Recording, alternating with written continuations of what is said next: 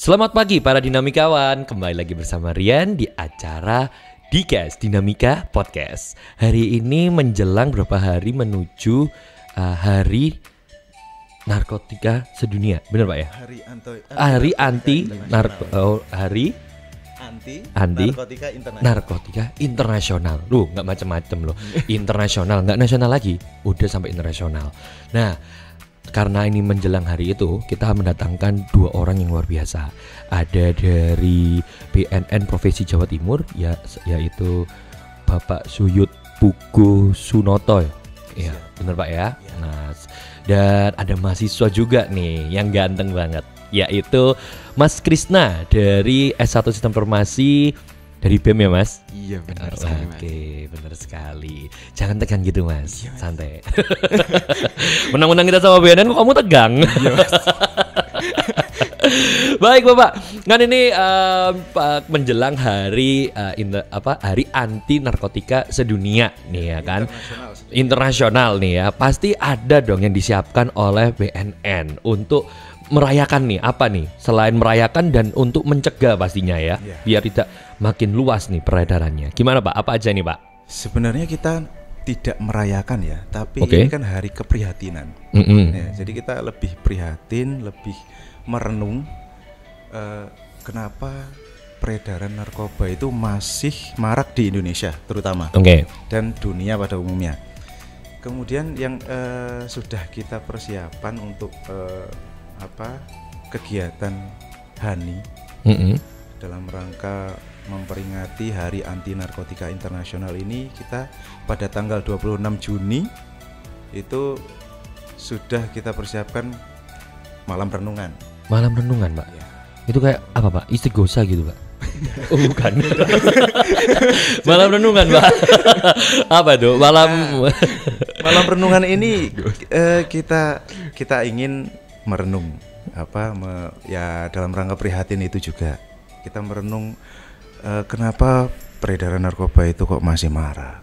Kemudian kita juga eh, merenung korban-korban penyalahgunaan narkoba ini kok banyak dan bahkan eh, dari usia yang masih muda, Yang yang masih muda. produktif, Hmm. anak sekolah misalnya, Eh, remaja itu itu kan masih eh, prodif- pro- produktif ya, Produktif, benar. produktif dan digadang-gadang nanti di tahun 2045 kita ada bonus demografi berupa eh, usia produktif itu banyak lebih banyak, Lebih banyak. ya. Oke.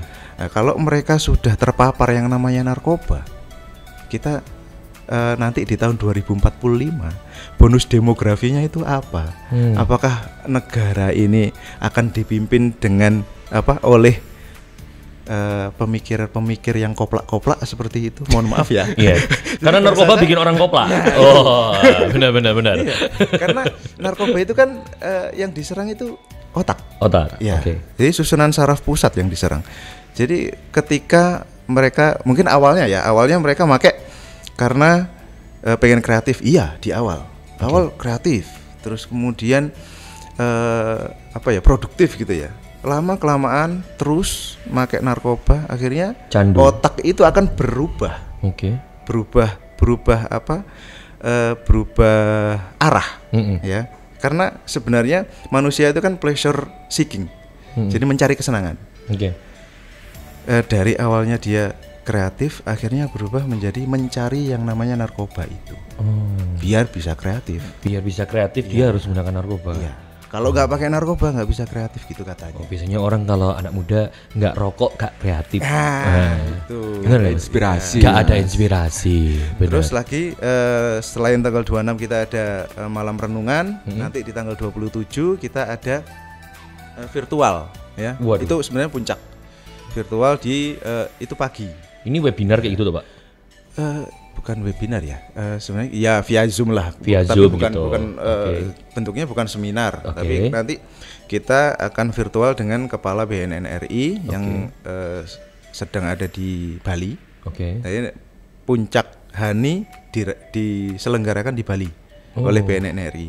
Oke. Di sana saat ini sedang ada smash on track atau apa lomba itu tenis meja. Tenis meja. Iya. Oh, itu kalau orang pakai narkoba capek dia udah. Kan lemes. narkoba. Apa kebalikannya? Malah bikin tergantung, semangat. tergantung dari itu apa eh, narkoba yang dipakai. Narkoba dipakai. Nah, kalau ngomongin apa yang narkoba dipakai nih, berarti kan ada beberapa jenis ya, Pak ya. Yap. Emang kan jenis yang sekarang nih ya, yang ada kemungkinan mungkin ada jenis baru, tapi eh, yang lagi ngetrend sekarang ini jenis apa aja sih?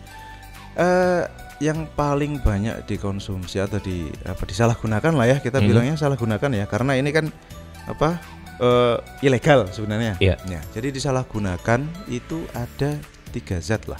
Tiga zat. Yang pertama eh, sabu Oke. ya atau metamfetamin. Kemudian yang kedua ganja. Yang ketiga ekstasi. Mm-mm. Nah, itu yang paling marak digunakan, disalahgunakan ya, disalahgunakan di eh, terutama di Provinsi Jawa Timur Mm. Dan lebih khusus lagi di Surabaya. Oke. Tuh. Berarti ada tiga jenis tadi ya, Iya. sabu, ganja, dan ekstasi. Ini eh, seperti era sekarang nggak ikut berkembang gitu nggak? Iya, ikut berkembang. Ikut berkembang. Ikut berkembang itu apa modus operandinya? Oh malah operasi eh, apa modus membagikannya? ya. Oh bukan dari jenis narkobanya Jenis ya? narkobanya enggak. Eh, mungkin dari bahan-bahannya itu justru malah ada penurunan Oh dari kualitasnya lo ya. Iya, Kita iya. bilang kualitas. Ada yang nomor satu, dua, tiga gitu kan ya.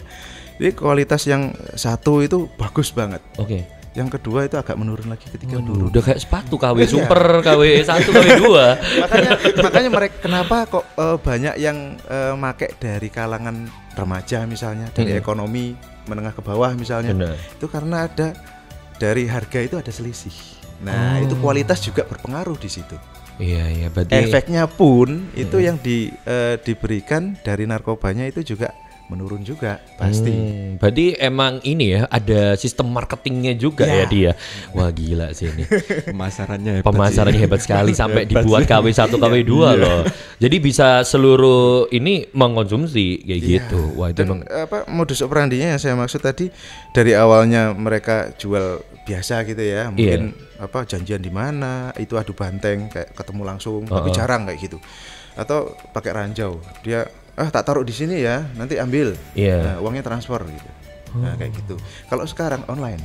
Oke, Tokopedia. Ya. online via apa? E-commerce ini. Facebook biasanya. Facebook. Facebook Oh, paling oke. rata-rata Facebook. Melalui Facebook ya, Ya. masih ini ya. Oke. Em, kalau narkotika kan kita kadang dengar ada narkotika dan psikotropika gitu Iya. ya. Itu apakah ada bedanya? Sebenarnya kalau perbedaan dari narkotika dan psikotropika itu jelas berbeda. Hmm. Narkotika itu zat atau obat-obatan ya, Hmm. yang baik dia itu alamiah Mm-mm. maupun buatan, baik sintetis maupun semi sintetis, yang campuran dari alamiah dan Iya. eh, sintetis bahan kimia. Itu dia eh, berpengaruh pada perubahan kesadaran atau Perubahan penurunan kesadaran, ya, sampai menghilangkan dia itu bisa menghilangkan rasa nyeri Oke. seperti itu. Tapi kalau psikotropika itu di luar dari narkotika. Hmm. Jadi bukan narkotika, Mm-mm. tapi dia efeknya lebih Seperti psikoaktif. Oh. oke. Jadi apa eh, bisa menyebabkan eh, perubahan atau apa ya? menghilangkan kayak mentalnya, Mm-mm. perubahan mental, kemudian perubahan perilaku juga. Itu psiko eh, psikotropika. Jadi jelas berbeda. Berarti emang benar-benar keras banget ya psikotropika ini. Apa apakah sama efek yang ditimbulkan? Eh, efek yang ditimbulkan eh, hampir sama, Hampir sama. cuman nanti gejalanya Mm-mm. gejala apa kayak gejala putus zat atau gejala eh, penyakit yang timbul itu beda Hmm. atau pengaruhnya itu beda juga Pengaruhnya. efeknya beda seperti yang tadi menghilangkan rasa nyeri narkotika Iya. ya tapi kalau eh, dari jenis narkotika eh dari jenis eh, psikotropika mohon maaf yang tahun eh, saya lupa per- peraturan tahun berapa tahun tahun 95 kalau tidak salah. Itu dari psikotropika golongan 1 dan 2 sudah dimasukkan ke narkotika. Hmm. ke jenis narkotika. Narkotika, ya seperti contohnya sabu eh, ganja ekstasi kalau tidak salah Oke, karena kan ada beberapa uh, obat-obat ini tuh juga untuk pengobatan ya, Pak ya, Iya. artinya ya. Oke. Karena kalau misalkan tadi efeknya menghilangkan rasa nyeri, kadang kan kita juga misalkan gigi sakit gitu Ya. kan butuh penghilang rasa sakit. Itu um, juga salah satu ini kan efek dari psikotropika kan sebenarnya. ya Hmm. sebenarnya seperti itu cuman eh, kayak obat-obatan yang misalnya yang tadi Mm. eh, disampaikan itu obat untuk sakit gigi itu kan ada Ya. resepnya ada itu eh, kemudian eh, untuk sakit batuk misalnya Iya. ada yang pakai resep ada yang enggak yang Oke. dijual bebas di apa warung-warung misalnya Mm-mm. kita boleh sebut merek enggak ini Nggak masalah pak. oh enggak masalah ya Bisa, misalnya bisa. komiks Oke. nah boleh kan komiks di- kita konsumsi langsung kalau kita batuk Oke. ya asal nggak disalahgunakan disalahgunakan itu eh, misalnya cukup satu saset tapi kita minumnya 10 saset Waduh. Tuh, ini yang terjadi Mabuk komik tuh. Langsung ketemu Tuhan ya Dan ya. komik gitu. iya mabuk komik ini yang terjadi sama teman-teman kita anak pang Oh. iya Butuh ini Iya, kecanduan akhirnya- tapi nggak ada. Mm-mm. apa ya bukan bukan anak pang aja sih ada yang mereka make eh, komik ini sebagai pengganti eh, narkotika misalnya Oke. untuk efek efeknya yang dicari Efeknya yang dicari. efek depresannya Oh, berarti narkotika itu eh, yang dicari adalah ketik setelah menggunakannya berarti. Efeknya. Efek setelah menggunakannya Iya. itu. Oh, mi- makan obat aja saya satu aja nggak kuat kok. nah itu itu, itu. ini itu Aduh, kan- saya nih. Satu obat butir tuh nggak bisa saya. Lah, ini kan narkoba ya. Jadi ada ada trauma sama obat ini kayak iya, dulu kalau kecil mesti dicekokin sama obat. Jadi nggak Ah, suka. Dulu Nah, em, kemudian ini Pak, eh, dampak manusia yang menggunakan nap- apa narkotika atau na- apa namanya eh, narkoba ini ya, itu eh, yang paling parah banget dampaknya tuh apa sih? Terus kalau misalkan dia udah terdampak nih, terus tiba-tiba dia tobat, nah, pingin kembali ke jalan yang benar tidak Yeah. menggunakan ini gitu, itu apakah masih meninggalkan apa ya eh, Bekas-bekasnya. kayak gitu? Ya, oke. Eh, untuk dampaknya sendiri tentu saja untuk kesehatan ya. Mm-mm. Ini kita ada banyak segi sebenarnya kesehatan, ekonomi, sosial. Ya, Jadi dari kesehatan kesehatan sendiri organ tubuh eh, terutama organ-organ yang vital itu terganggu nantinya. Mm-mm. Misalnya narkotika, psikotropika itu kan yang diserang adalah susunan saraf pusat di otak. oke, Yang menggerakkan kita istilahnya prosesornya lah, itu kan otak. Iya. Ketika otak terganggu sama yang namanya zat eh, narkotika, itu pasti eh, tubuh kita juga terganggu kan, metabolismenya, Metabolisme. organ-organnya itu pasti Hmm. terganggu. Kalau sekali dua kali make mungkin ya enggak apa-apa, tapi tergantung dari efeknya eh, apa dari eh, masing-masing individu, Hmm. ketahanan tubuhnya seperti apa, metabolisme seperti apa. Pak.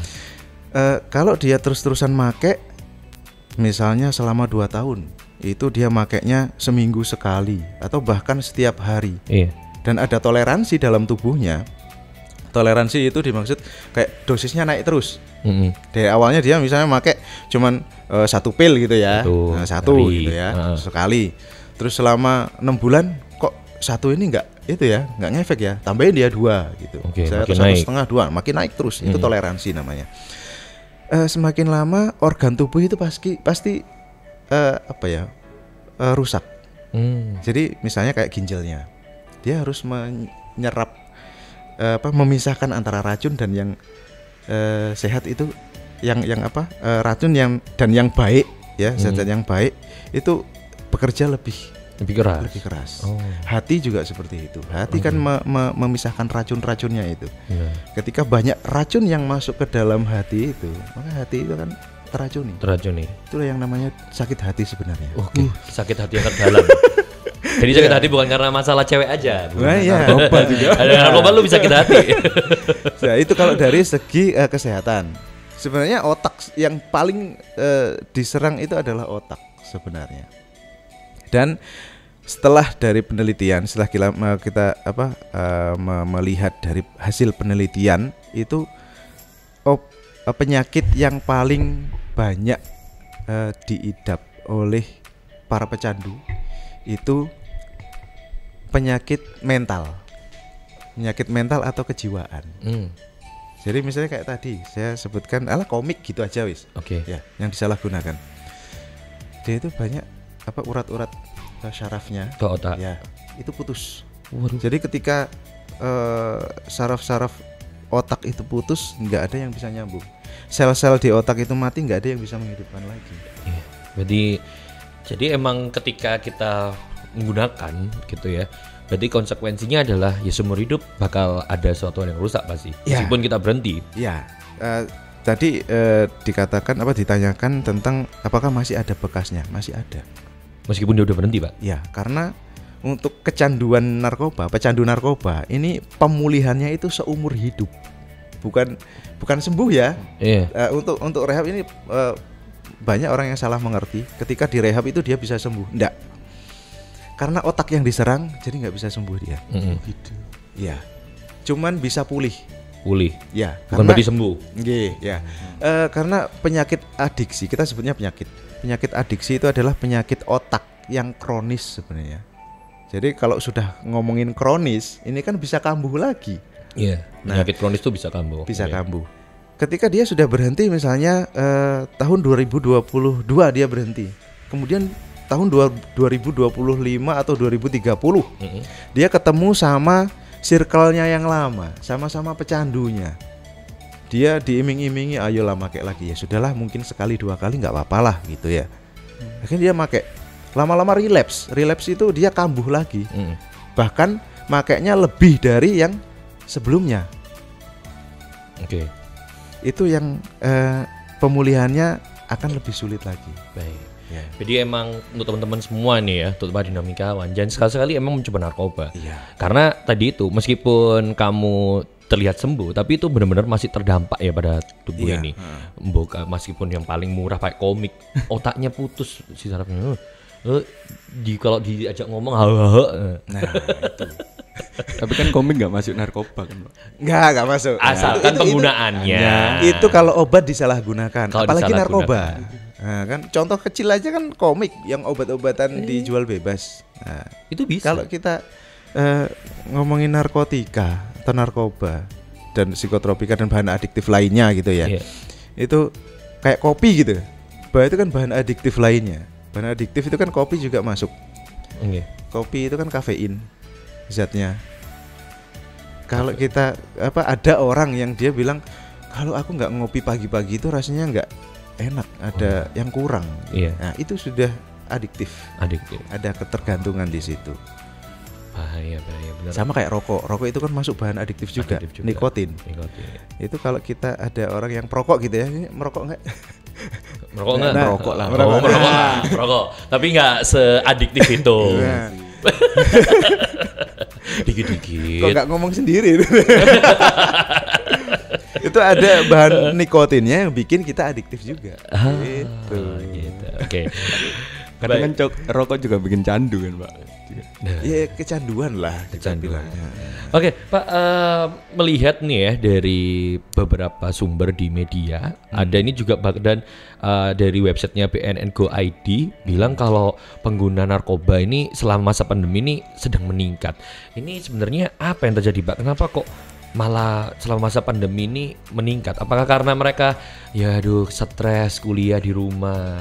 Apa karena nggak bisa kemana- ke mana-kemana akhirnya berdampak beralihnya ke narkoba? Iya. Gitu. Eh, sedikit banyak benar mas. Jadi Hmm. eh, ketika pandemi kita dikurung di rumah, dikurung ya, dikurung di rumah, nggak boleh keluar sama sekali. Akhirnya orang pasti stres. Yang biasanya kita ke mana-mana bebas. Ya. Terus nggak harus pakai masker nih, nggak harus jaga jarak. Tapi pas pandemi kita harus di rumah terus, nggak boleh keluar. Kalaupun keluar itu harus eh, memang benar-benar penting. Hmm. Nah, orang stres. Banyak yang stres, kemudian banyak juga pengangguran. Karena roda perekonomian kita kan terhenti. Ada yang Hmm. terhenti, ada yang masih Benar. jalan. Yang masih jalan itu juga alkes ya. Rata-rata kayak obat-obatan, vitamin, masker yang jualan masker itu masih jalan, bahkan meningkat. Iya. Nah, tapi kalau untuk perekonomian yang lain, yang kayak pedagang ke pasar aja nggak boleh, Mm-mm. pasti mereka stres. Oke. ya stres kemudian nganggur nggak nggak ada penghasilan mereka melampiaskannya itu ke misalnya kayak hal-hal negatif ya narkotika Nah, kan narkotika juga butuh duit, Pak. iya perlu Udah tahu nih eh, namanya duit nih. eh, eh, iya kan, malah beli narkoba. iya Itu gimana? itu kayak gini eh, kalau kita mau melepaskan stres tiap orang kan beda-beda mas Iya. misalnya saya saya harus mendengarkan musik baru bisa lepas stres Oke. ada orang yang dia harus pakai eh, temen Mm-mm. untuk bisa eh, rilis stresnya, melepas stresnya. Mm. Nah, kalau temen nggak ada yang diajak ngumpul, Iya. misalnya. Terus uang misalnya tinggal dikit, ah ada ajakan yang lebih enak, misalnya kamu daripada stres, ayo kita make ya, misalnya Make kayak aja. gitu. Hmm. Misalnya kayak gitu misalnya ini. Dan kebanyakan kayak gitu ceritanya. Rata-rata mereka pasti akan mengiyakan. Hmm. Nah, untuk menolak itu apa ya sepersekian lah mungkin ya. Karena tadi itu udah nggak ada kegiatan apa lagi kayak gitu. Iya. Karena- Maka ajakan temen ini yang dia. Iya, tawarannya menarik. Tawarannya menarik. Iya. Waduh. Nawarin apa aja? Iming-imingnya, iming-imingnya itu menarik. Eh, Itu bisa melepaskan stres. Iya. Misalnya nggak nggak apa, kamu nanti apa lupa lupa bebanmu lah. Gitu. Mm-mm. Pasti enak, enjoy nanti. Oh, lupa bebanmu. Iya. Nah, ini terkait iming-iming. Ah, nah, ini kenapa, kenapa? kiranya caranya mewaspadai dari iming-iming temen ini yang mau nawarin narkoba ini gimana? Pak? Nah itu Pak. Biasanya kan Iya. temen tuh lebih keras nih ya nawarinnya ya. Oh iya. Ayo bos, gak, lah. gak ngumpul, gak bolo. Wah. Nggak narkoba, nggak enjoy. Oh, oh, iya, Gak tahu kamu. nah itu gimana Pak Dua? Dari Pas Kevin ini nanya, gimana caranya biar terhindar dari iming-iming teman itu tadi ya? Nah, oke. Eh, yang pertama kita harus membentengi diri. Membentengi diri itu banyak cara ya. Misalnya dengan meningkatkan keimanan. Waduh, ini kayak religius banget ya. Masuknya ke agama. Ke agama, dekati yang alim-alim. yang alim-alim. Oke. Jadi kita bisa dengan cara meningkatkan keimanan Oke. atau kita menyalurkan energi kita ke arah yang positif. Yang Hmm. masih masih muda ini kan energinya kan apa ya sedang bergejolak kan ya. Iya. Eh, terutama yang puber-puber itu kan ya. nah, itu disalurkan ke hal-hal yang positif. Misalnya olahraga apa yang dia sukai. Dia masuk terjun di situ. Tapi ya dengan catatan kalau olahraga ya jangan pakai doping sama aja dong, ya kan? Aduh, selalu ada celah untuk narkoba gitu iya, ya. itu makanya kita apa ya eh, dari semua kalangan udah kena, dari Ah. semua profesi sudah kena. Eh, narkoba ini apa ya istilahnya kayak air dia bisa masuk ke mana-mana, Hmm. kayak gitu. Jadi selain kita membentengi diri, kita juga harus membentengi pergaulan kita. Bukan kita membatasi, Hmm. nggak nggak Nggak mau, oh ya nggak mau gumpul sama orang, ndak. Kita cari circle yang positif. Oh. Ya, siapa ya kayak tadi dekati yang alim-alim ya Nah, itu. Jadi kalau udah kelihatan nih temen lo pengguna ya, ya diingatkan dan dijauhi gitu. Kalau diingetin nggak bisa ya ditinggalkan gitu. Kalau masalah dijauhin sih gimana sih pak cara ciri-ciri orang pengguna itu Nah. caranya kita ngelihat itu gimana Bener. sih, Pak? Apakah selalu yang kelihatan lemes kah? Nah. Karena di sini ada kadang karyawan oh, kelihatan lemes ya. jangan-jangan pakai Jangan pakai nih, kan belum tentu juga ya. Atau jangan yang suka nge-gym, wah ototnya ke mana-mana gitu kan? Ternyata pemakai. Kita kan nggak bisa membedakan kalau se- secara ma sekasat mata gitu ya. Secara kasat mata memang kita sulit untuk membedakan. Misalnya kayak ciri-ciri fisiknya itu seperti apa, kita nggak bisa memastikan kalau kita nggak misalnya tes urin, Oke. nggak bisa kita memastikan. Cuman untuk sebagai sebagai apa ya, sebagai langkah eh, preventif lah ya, Mm-mm.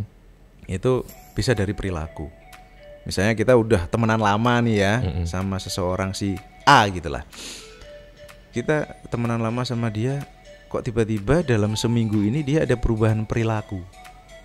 Hmm. Nah, jadi ada perubahan perilaku yang awalnya dia eh, ketemu kita itu enak, enjoy, Iya. dia kok agak apa agak menjauh misalnya. Oh, agak liar Kok agak- gitu. Ya, agak liar. Ketika di iya, ketika diingetin kok Nggak, biasanya marah. biasanya biasanya ya oke gitu. Dia marah, Oh. tensi tinggi, emosi. Nah, Oke. itu perlu dicurigai. Tapi Oke. meskipun gitu ya nggak nggak murni dia pemakai juga. Mungkin dia ada stres, masalah sama Mm-mm. keluarga mungkin. Lagi Makanya mood, ya, gitu. makanya kalau ada seperti itu kalau lebih baik ya teman sendiri ya. Jangan orang lain, orang lain ketemu kok kamu gini ya. kita ya. kita nggak tahu apa-apa nih ya. Ketemu orang tiba-tiba, eh lu mau guna ya? Gitu. Marah-marah. kita ini tempeling. nah, itu makanya paling nggak sama teman sendiri. Jadi sendiri. lebih persuasif lah diingetin eh atau ditanyain lah kamu kok berubah kenapa gitu kan. Oh. nah, Jangan- kita, kita lebih lebih peduli ke dia Kamu kok berubah sih? Yang kamu kok sekarang berubah yang? Wah. Jadi kamu pengguna Kamu udah nggak sama seperti dulu. Wah, pengguna berarti. Oke. Berarti emang tidak bisa terlihat secara langsung, tapi emang kita perhatikan melalui perilakunya. perilaku. Perilakunya. Tentu saja orang yang dikenal ya. Mm, Kalau kita nggak nggak terlalu kenal, Ya. apa, nggak bisa mendeteksi perilakunya berubah, Berubah atau enggak enggak. itu kan nggak Oke. bisa kita. Orang yang dikenal. Nah, itu berarti yang menjadi hal yang susah ya untuk bisa mendeteksi narkoba Ya. atau enggak. Ya, terus Oh iya pak, kalau mungkin di sini kan mungkin kampus kita kan eh, sangat bersih, terkenal bersihnya karena mungkin akan nggak bolehin rokok di kampus dan bla bla bla. Apalagi narkoba. lo. oh, Heeh. oke. Nah, kira-kira nih kalau eh, dari salah satu misal nih, misal nih pak, Hmm. misal ini saya pengguna, Mm-mm. terus saya ketangkep nih. Heeh. Nah, terus saya dilaporin sama teman saya. Heeh. Nah, kira-kira teman saya itu dapat uang nggak? kalau ngelaporin saya. gitu. Oh, berarti kalau misalkan nih eh, aku temen lo gitu kan, terus aku bilang, eh Pak ini pengguna nih gitu, dan pasti fix pengguna gitu. Cepu berarti. Apalagi di, di AU sendiri kan kalau ngerokok Iya. eh, di Buat kebaikan bersama, bukan cepu, ya kan? begitu ya, gitu buat ya. kebaikan oke. bersama. kan harus gitu, saling menjaga. Kan kalau melaporkan belum tentu ditangkap masuk penjara dong, ya kan? apalagi Jadi- kalau dapat uang kan. Nah. lumayan gitu. Nah, Nah, kita ada layanan yang namanya Dumas, pengaduan Dumas. masyarakat ya, pengaduan Oke. masyarakat. Itu eh misalnya, Pak di kampus ini, kampus A banyak pengguna. Saya pernah lihat dia pakai di sekitaran parkiran misalnya kayak Hmm. gitu atau di belakang kampus gitu. Itu akan kita tampung. Hmm, Kita oke. tampung, tetap kita tampung eh, informasi seperti itu. Nanti kita akan melakukan penyelidikan. Benar nggak sih?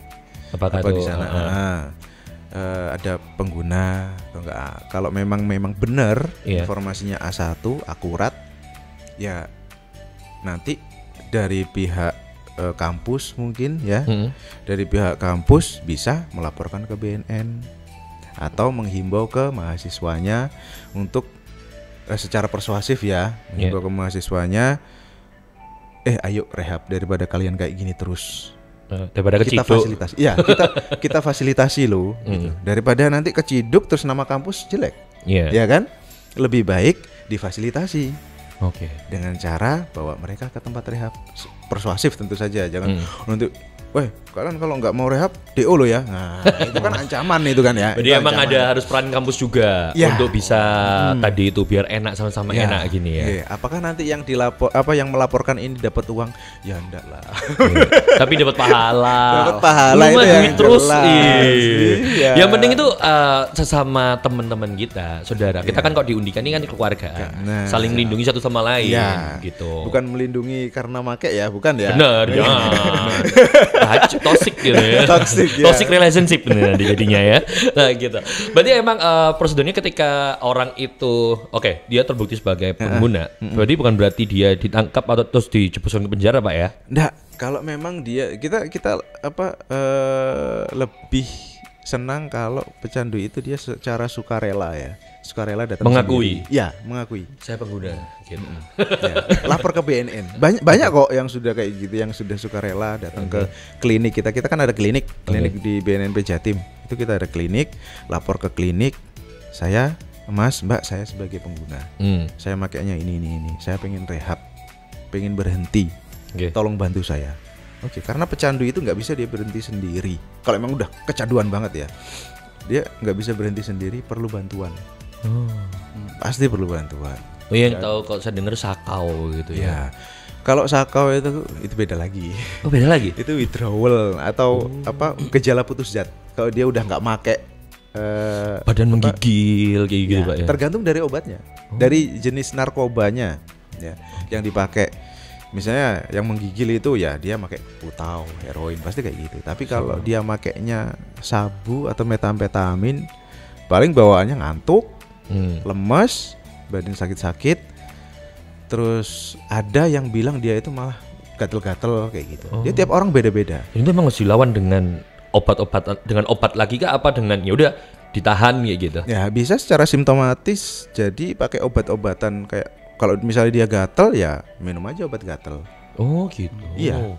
Saya pikir emang ya udah kalau eh, ini apa kayak kayak gitu, ya udah ditahan gitu kan ngantuk ya udah tinggal tidur gitu. Ya, itu ya kalau sudah ada gejala kayak sakit apa pusing Hmm. misalnya terus gatel-gatel nah itu kan harus diobatin kan gatel-gatel Hmm. atau Pusingnya pusingnya, itu. itu, Oke. Ya, minum obat apa obat pusing Obat sakit pusing biasa. aja Oh. Heeh, biasa nggak harus nggak pusing waduh ah make lagi ah enggak kalau memang dia pengen pengen itu ya pengen pengen bener-bener Bener sembuh. eh, pulih kalau gitu ya di rehab itu eh, obat dari narkotika itu di- diganti sama obat lain gitu ya.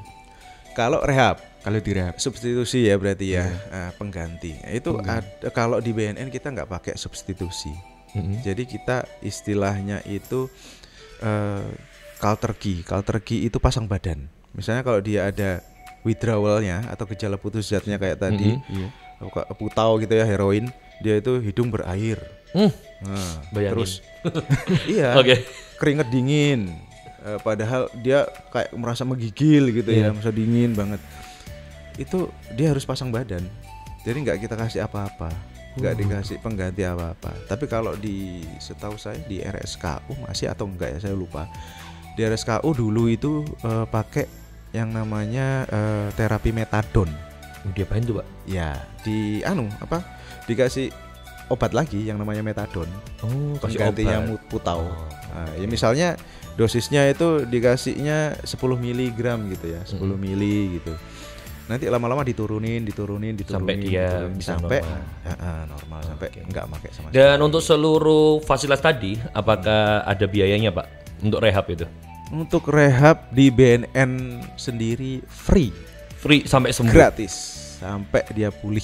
Itu nginep apa dia boleh pulang gitu, Pak? Rawat jalan atau gimana? Nah, Ini tergantung dari hasil asesmennya. Oh. Jadi sebelum kita melakukan rehab nih ya Iya. ke orang eh, intervensi terapinya itu Hmm. yang cocok apa, kita harus lakukan asesmen. Oke. Asesmen itu kita eh, tujuannya yaitu pengen tahu dia pakai zatnya apa. Mm-mm. Terus eh, seberapa frekuensinya dia make. pakai. Mm-mm. Ya, seberapa lama dia make, kemudian tingkat kecanduannya seperti apa, withdrawalnya ada atau enggak. Mm-mm. Terus kemudian eh, setelah kita tahu itu kita bisa menentukan eh, dia ini pemakai atau pecandu yang eh, tarafnya sedang, ringan atau berat. Mm. Kalau berat, sedang ke berat kita arahkan untuk rawat inap, jelas. Oke. Ya, karena kalau dia rawat jalan pasti ketemu circle-nya lagi ya Balik pakai lagi. gitu. Tapi kalau yang ringan-ringan aja cukup wah rawat jalan gitu. Misalnya dia, dia baru coba pakai saya baru pakai dua kali sih.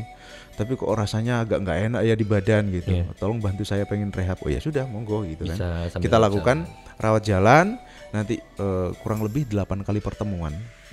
Itu kita lakukan eh, konseling, itu Iya. konseling individu juga ada, konseling eh, kelompok juga ada. Nanti eh, sama teman-teman psikolog di klinik. Oh, lengkap berarti ya, Pak? ya? lengkap ada Tadi. psikolognya, ada dokternya, Ada semua. ada perawatnya, Iya. lengkap.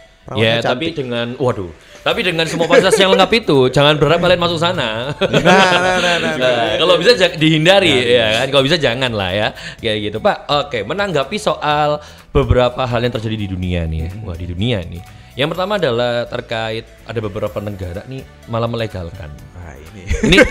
Mas, berat kan Pak ya? Ini tantangan besar loh Pak, bener serius. Karena eh, media ini memberitakan oh, kayak negara ini seolah-olah tuh wah ini diperbolehkan nih kayak gitu. Terus tanggapan BNN sendiri nih di Indonesia sendiri bagaimana Pak?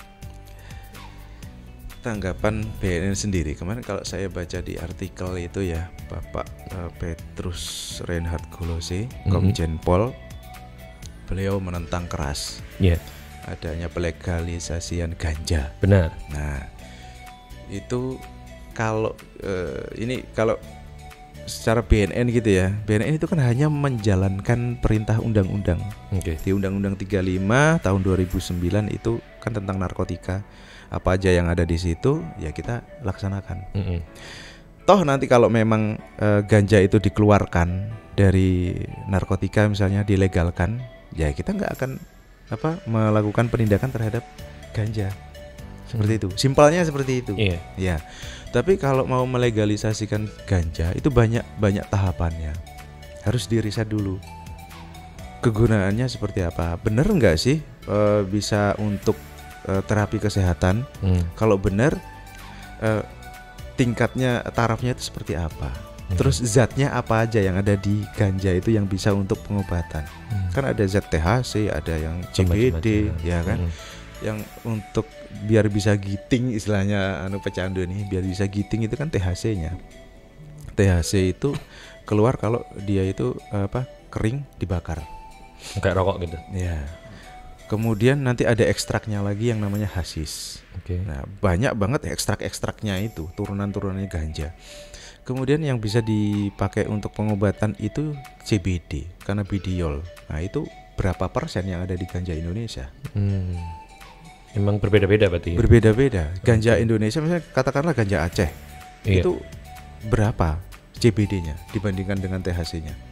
Apakah lebih tinggi atau lebih rendah? rendah. Hmm. Kalau eh, dari apa uh, studinya sih THC-nya lebih tinggi.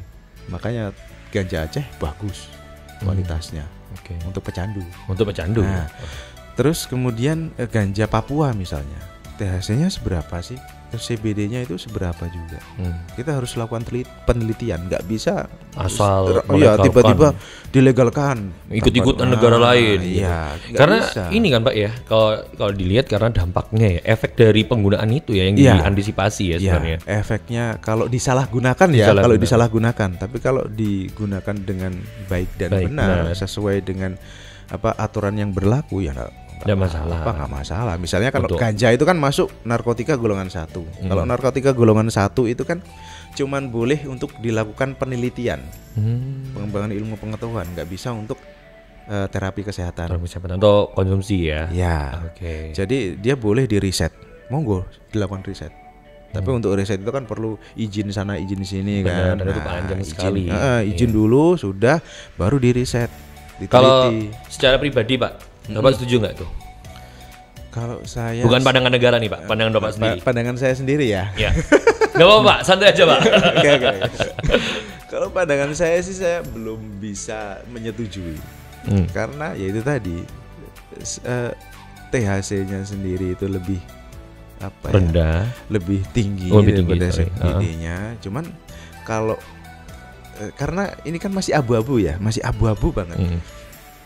Benar gak sih bisa untuk kesehatan?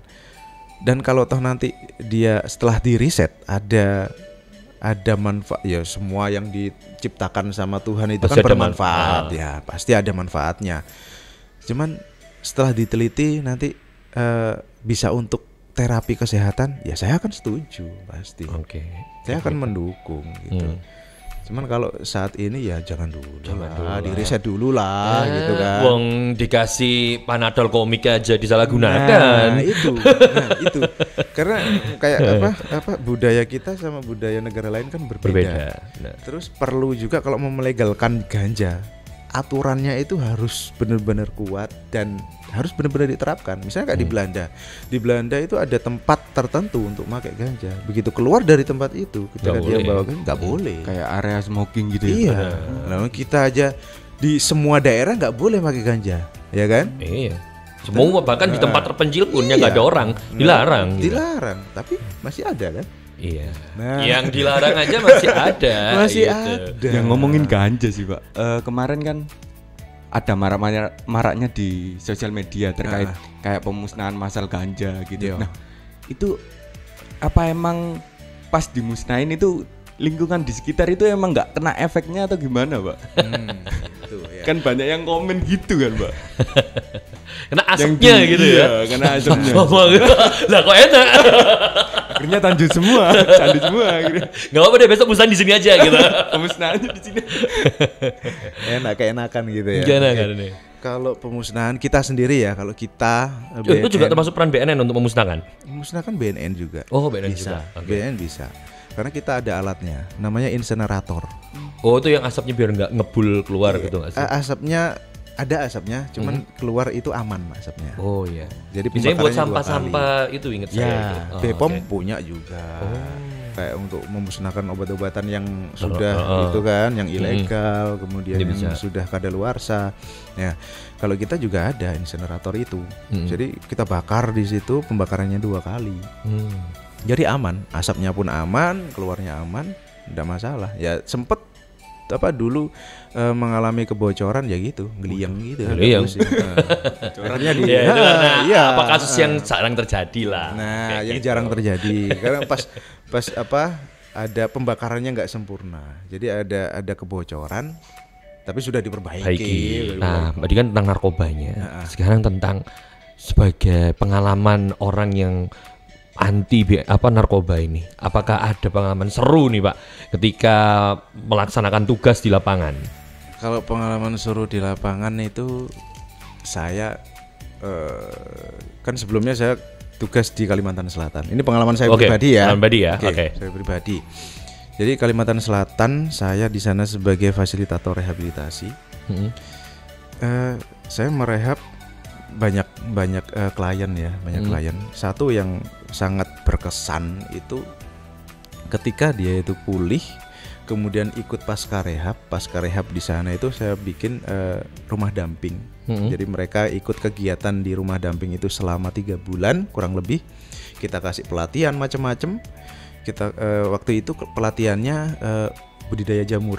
Di Jamur. Nah, dan sekarang dia bisa jadi apa pengusaha bakso Jamur. eh, jamur. Oh, Terus dia jadi pembicara Oke. untuk budidaya jamur. Jadi Hmm. itu yang yang berkesan di situ. berkesan hingga Iya. akhirnya ini orang yang awalnya nggak karuan sekarang Mm-mm. jadi orang sukses Ya, kayak gitu. Seperti itu. Dan kalau pengalaman yang paling miris ya saya sering menemui eh, anak-anak di bawah umur yang kayak masih usia-usia TK, SD gitu ya. Benar Pak, TK Pak. 6 tahun tuh SD nggak sih? Iya. Itu ngelem paling mas. SD juga satu. Tujuh, tujuh tahun. Eh, iya, Tujuh tahun. Mungkin, oke. Nah, eh, ya usia enam tahun lah, nggak usah Oke. ngomongin TK SD. Iya. Oke, usia enam tahun itu dia udah ngelem, Ah, gitu. bauin bensin. Rata-rata rata-rata ngelem. Oh ngelem ya? Ngelem. Lem Fox itu ya? Lem Fox. Lem Fox Suning. Ya, Heeh. lem Fox, Ibon, macam-macam. Gila itu aduh Lebih ke minim budget. nggak apa ini nggak mesti gini TK lu apa beban hidupnya gitu loh Karena aduh ini nggak bawa kelereng kalak main kelereng Kerjaan mungkin. rumah mungkin. Matematika. TK lu apa yang diharapin maksudnya eh, apa yang bikin dia stres gitu loh mungkin nggak stres ya, karena pergaulan. oh dia bergaul dengan orang yang lebih dewasa dan mengerti Salah gaul dia eh, kebetulan anak-anak jalanan kayak gitu. oh Nah, oke oke dia ngamen lah segala Heeh. macam. Akhirnya ke jaring Satpol PP, iya ke jaring Satpol PP. Ini aku kecil sendiri, usia berapa ya? 6 tahun. ya ampun Pakai apa? Lem. Uh, udah baunya itu menyengat sekali. Jadi lem lemnya itu masih utuh dalam kaleng kan dibuka, Iya. dimasukin ke plastik, dia makainya tuh di dalam baju gini sambil gini. oh ada caranya juga Ada cara. gila pinter banget dia Nggak, kalau nggak gitu dia patungan sama temennya nih. untuk beli kan- lem Heeh, lemnya itu kan misalnya katakanlah harganya 7000 gitu ya. Iya. Patungan sama temennya. Apa habis anu di eh, apa? Apa namanya? Kalengnya itu Iya. dibuka terus diambil separuh-separuh gitu kan, masukin ke ke plastik dalam baju ini sambil gini dia. ah Di bawah jembatan biasanya. kayak gitu tuh Itu Iya. efeknya apa pak? Hah? Efeknya apa pak? Halusinasi. Bener-bener, Halusinogen. Le- emang lem bisa nimbulin halusinasi? Maksudnya dengan ngelem aja nih, lem ya itu tadi tuh. Kan lama-lama pusing. Iya. Saya kena bau kentut gitu ya. Padahal kejadian ada beberapa hari ke mana ada yang ngentut di sini. Pusing, Mbak. Siapa ini tersangkanya ini? Candu banget Parah tuh. Belum ada yang ngaku, Pak. Sampai sekarang ya belum ya? Iya, aduh, bau kentut aja gak kuat loh, apalagi lem loh. Itu aduh ya ampun nggak kebayang sih, maksudnya kasihan banget gitu generasi penerus bangsa kita Iya. bocah ngelem gitu kan. Kalau kita sih itu. kita misalnya kayak apa bau menyengat bensin gitu ya. Iya bensin itu kan kita bau gitu uh, menyengat banget Iya, kan. bener, nggak enak. Nah, mereka itu nggak cuman gitu toh. Jadi gitu. Sampai gitu. Jadi benar-benar sampai ke sini set Menikmati ke otak, gitu kan ya. Ke otak kan teng ke kepala ini. Nah, itu itu yang bikin apa rata-rata Mm-mm. yang sakit jiwa yang datang ke klinik eh, saya di klinik kami di BNNP Kalimantan Selatan itu Mm. mereka pakai lem dan sudah pedodel Betul. Ini. pedodel ya Udah, syarafnya iya. iya Jadi ada yang malah yang dibawa sama keluarganya naik angkot nih, disewain angkot. Iya. Datang ke apa, BNN gitu ya. Pak, anak saya tolong di anu direhab. Kenapa, Bu? Dia pakai anu lem gitu. Heeh. Oh ya sudah, oke. Tapi kok ininya dirantai tangannya, cewek. Jadi dibawa ke klinik gitu ya. Iya. Tapi tangan gini, eh, ditutupin sama kain gitu kan. Oh iya. Heeh. Saya kebetulan saya yang asesmen. Tak asesmen 5 menit awal itu lancar. Oke. Tapi lama-lama dia ngelihat gini. saya, Eh, Buat dia. Oh, jadi kuntilanak. alamat surupan dia. Dia ketawa sendiri. Oh. Waduh sudah dual diagnosis. Akhirnya kesimpulan saya oh ini sudah dual, diagnosis. Dual diagnosis itu ada ada gejala psikosisnya. Mm-mm. Jadi saya rujuk ke rumah sakit jiwa. Nggak bisa kita untuk rehab. Itu itu udah nggak bakal bisa disembuhkan, Pak. Apa masih ada kemungkinan untuk sembuh? Ada kemungkinan untuk pulih ada. Pulih ya. Jadi di di, di ah, ah, sembuh nggak pulih. Pulih. Jadi eh, dibenerin dulu mentalnya, kejiwaannya dibenerin dulu di rumah sakit jiwa, baru dia bisa mengikuti eh, rehab. Umur Eh, gitu mempengaruhi nggak sih pak? Umur berpengaruh banget. Berpengaruh banget. Tentang kepulihan tadi. Iya. Jadi eh, ketika seseorang itu ya lebih muda, eh, lebih dini Ya. terpapar yang namanya narkoba, dia akan lebih sulit untuk pulihnya dan organnya ini apa otak terutama ya untuk untuk proses perkembangan otaknya itu akan terhambat juga Oh. karena ketika misalnya orang eh, usia tujuh tahun gitu ya dia Iya, udah make udah yang make. namanya narkoba Iya. sabu gitulah katakanlah itu sabu ketika dia berhenti di usia 12 tahun nggak pakai sabu lagi Hmm. perkembangan otaknya di usia 13 tahun akan sama kayak di tujuh tahun Jadi kayak harusnya udah dewasa Iya. pikirannya tapi masih seolah-olah kayak masih tujuh tahun. Masih tujuh tahun. Oke. Jadi Jadi emosinya emosinya Emosi. juga apa berpengaruh Hmm, yang gampang marahan, galau, dikit-dikit ngambek. temperamen. Heeh. Wah, itu dari dari kecil udah pakai itu jangan-jangan.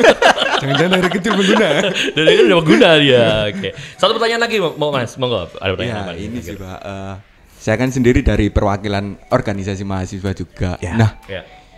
eh, saran dari bapak nih, kira-kira peran untuk kita kita organisasi mahasiswa nih gimana sih untuk mencegah narkoba di Universitas Tas Dinamika. Dinamika ini?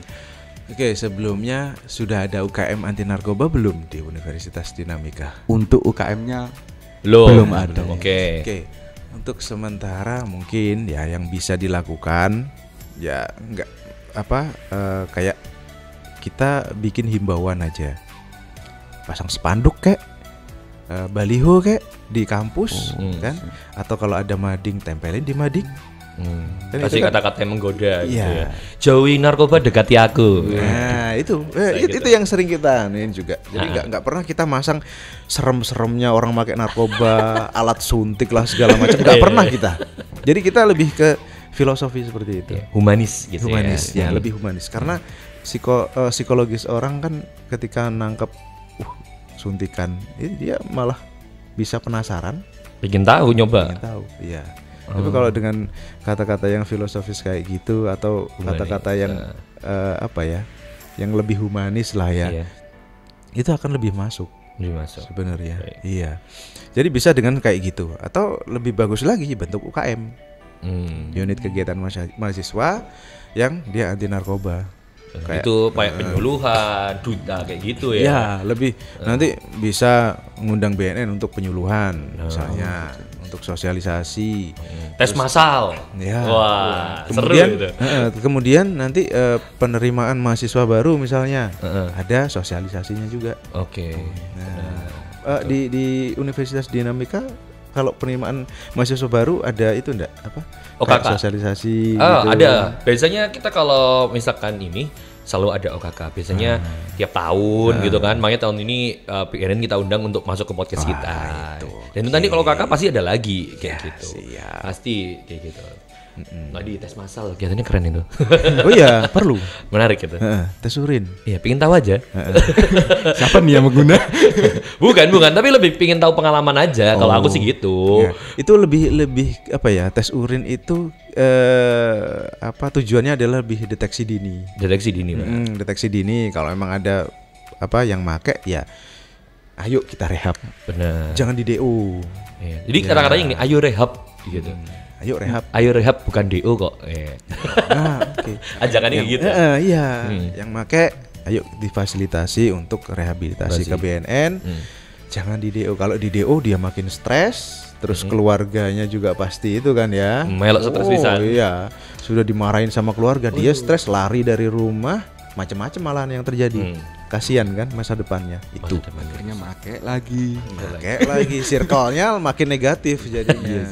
Oke, Bapak ini menjelang terakhir nih ya, adakah pesan-pesan nih ya, apalagi per peredaran narkoba ini kan bukan hanya kalangan orang bawah saja yang pengguna, Iya. tapi bahkan kalangan atas, baik itu artis-artis nih yang sering kita dengar di media sosial, terus Iya. makin banyak makin hari dan bahkan orang-orang yang, hah kok bisa sih? Itu katanya orangnya diem deh, kayak gitu kan? Oh ini nggak mungkin macam-macam deh, ternyata eh tertangkap kayak gitu.